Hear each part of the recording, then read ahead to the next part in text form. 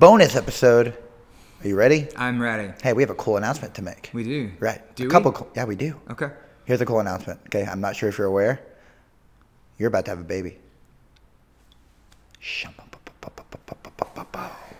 Pastor Byron is about to welcome his second daughter, Yes. Ruth, into the world I'm gonna be a dad again. again. Shout out to Ashley Yeah. for bringing this baby. Yes. So, For doing all the hard work. I All- think that's why they call it labor.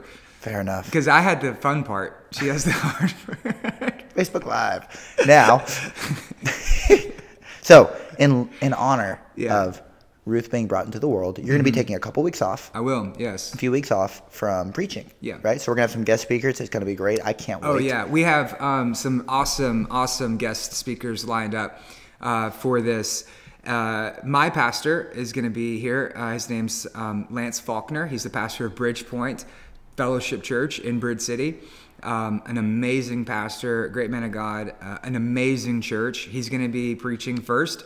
And then we have Jacob Jester. He is uh, a church planter with the Church Multiplication Network. He planted Compel Church out in Phoenix, Arizona. However, he has just accepted a position as a missionary in Africa. Hallelujah. And so he's going to be doing a lot of work. And so we have uh, Jacob Jester. He's going to come in. And that guy, man, he preaches fire. Like seriously, like every time he preaches, it's like a Kanye album. It is straight fire. Like that's exactly what it is. Um, Relevant. I, I heard him uh, preach at CMN events, and I was like, I got to get this guy at our church. So he's going to be here. And then my mentor, Kendall Revis, is actually going to be preaching here as well. He's the church planting director for the Assemblies of God in South Texas. Uh, just super Yoda smart. Uh, and so he's going to be here. So we have three uh, amazing um, Bible teachers that have meant a lot to me, made a great impact in my life. They're coming to serve our church. So during those three weeks, please, if you're a part of Redemption, like be here. And what I don't want to have, have happen, because uh, this has happened before, Yeah. is whenever I'm out of the pulpit, people think, oh, Byron's not there, so I don't have to go. Like, that's not loving your church well. Um, and, and so these men are coming to serve our church. They're giving me a break because we're having a baby. Let's honor Uh, them. Yeah, and Yeah. let's honor let's honor our church, Yeah. and it's still God's word. So please be a part of it. Uh, We're not gonna want to miss out. no, it is. reality. It Yeah. is going to be amazing. I know each one of them have gotten a word from God that's for our church, and so it's going to be incredible. So I'll be out for those three weeks, and then starting in the month of December, we're going to do a four-week sermon series over the spiritual gifts. One of the things I get asked a lot is, "What is my spiritual gift?" or "What is a spiritual gift?" In 1 Corinthians 12, 1, the Apostle Paul he lays out um, the miraculous gifts, and he says, I'm writing to you regarding this because I do not want you to be ignorant. And a lot of Christians are ignorant when it comes to the role of the Spirit and what their spiritual gifts are. So we don't want you to be ignorant. We're going to teach you about the spiritual gifts, four week series starting in December. Tis the season. Tis the season for giving, but spiritual gifts as well. So yeah, that's kind of where we're And headed. receiving. Yeah. Yeah, it's gonna be So- great. So during that time, we're not gonna be, you know, we won't have any content to do the rundown podcast. Sure. Right. So Yeah. that's where you come in. That's where we need your help. A call to arms, guys. We would like to know what have been your favorite sermons that we've done in the series of Mark, in the simple gospel. Yeah. Right. So it can be anything back from when we started in April Mm-hmm. 2018 to I would say the past couple months. Yeah. Right. Till, till next week. One that we haven't covered. till Sunday, till Right. this Sunday. Right. Jesus and hell is this next sermon. Get So, ready for that. Yeah, I think that's uh, 39 sermons. Yeah. So, yeah. yeah. So all the way from there, guys, let us know what your favorite sermons have been. So, what has been your favorite sermon in the Gospel of Mark? I thought you'd never ask. My favorite, and the, it was, you know, partly because of the message itself, and partly because of the timing of Mm-hmm. my uh, my spiritual walk as I was becoming a Christian. I remember, I think it was, I was a few weeks into coming into church. I was still standing in the back, crossing my arms during worship, kind of not one to be around. Yeah. Mm-hmm. And the sermon was Jesus and the Pharisees, which means Jesus gets in a fight. Jesus gets in a fight. So, as a martial artist myself, Mm-hmm. you know, that's what I do for a living. On the other side, I teach and train Brazilian Jiu Jitsu. Jesus gets in a fight. I was like, huh? Yeah. What do you mean? So, that message ended up being super relevant to my life because it kind of showed me, okay, this is how Jesus deals with conflict, Hmm. right? This is it really helped me in my walk and not being so, uh, I don't know, where does violence really fit in as a Christian? It was pretty convicting for me and Mm-hmm. Yeah. really, really. So was really Jesus useful. like a weakling? He was just like a little feeble-bodied guy, like, oh no, y'all made fun of me. Turns out, not at all. Jesus was a savage. Yeah, Jesus was a savage when needed Yeah. and in the right way, the Yeah. most righteous way. Saints and savages.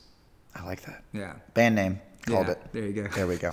Yeah. So that was probably. So Jesus got in a fight with the Pharisees. I remember that one. Mm-hmm. That one was a lot of fun to preach. I felt like you were staring at me the whole time too, like I was just beating you up yeah, the whole time. yeah. Uh, uh. Jesus gets in a fight with Trevor. And then I turn around and my hands are up during worship. I'm like, Yeah. what is going on? Oh no. Here comes the Spirit. Yeah, so Yeah. that's cool. Um, I one one that I remember a lot. I think my favorite one um, was Jesus preaches a sermon out of Mark four, uh, and I love that one because I got to talk about something that's important to me, which is the priesthood of all believers. Uh, and Jesus basically is preaching to a large crowd of people and he's been there for like three days preaching them. And he um, basically te- tells a couple of parables. And so and it's really talking about the importance of the word of god in our hearts. And so i got to explain like how we practically listen and apply sermons to our lives. And that was really um, it meant a lot to me because um, I think a lot of people listen to the messages that I preach, but they don't actually apply them. Right. And Mark 4:24 says, "The one who has more will be given; the one who has not, even what he has, will be taken away from him. Uh, with the same measure you use, it will be measured unto you." And if you hear a word and you don't apply it, well, then you're going to be held accountable, and that's a really scary thing because because you're held accountable for what you've learned, and if you don't apply what you've learned, It's on well, you. that's going to be on you. Yeah. And I feel as a pastor a deep burden that so many people have information about God, but without application, it's really going to only lead to greater judgment. Right. And that's a really scary thing. That's mm-hmm. something that weighs heavy on me. I remember that. So it was just really beneficial, I think, to be able to share that really practical wisdom to the church, but also at the same time that I don't want people in our congregation to rely on me to do the work for them. Right. I think so many people come into church and say, Well, I don't read my Bible during the week, but I do go to church every Sunday, so the pastor's going to do it for me.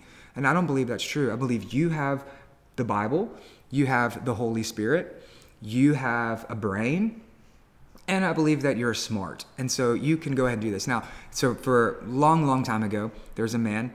Um, his name was Martin Luther, and he is the one who brought up the, the, the priesthood of all believers. So basically, I'm not saying the Catholic Church is this way today, but the way the Catholic Church was back then was that no one is smart enough to understand the Bible, so you have to come and listen to the priest.